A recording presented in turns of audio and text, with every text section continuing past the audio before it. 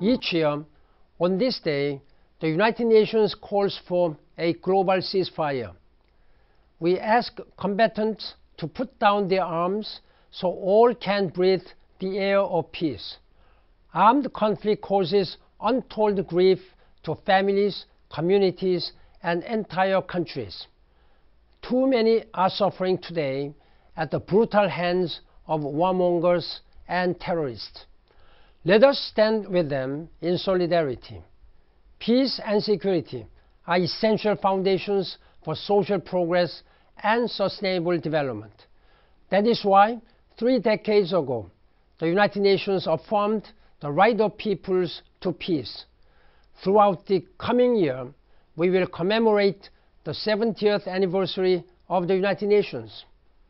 Our organization is founded on the pledge to save succeeding generations from the scourge of war. We have made much progress, but much remains to be done. We must douse the fires of extremism and tackle the root causes of conflict. Peace is a long road that we must travel together, step by step, beginning today. Let us all observe a minute of silence at noon. Let us all reflect on peace and what it means for our human family. Let us hold it in our hearts and minds and tenderly nurture it so it may grow and blossom. Thank you.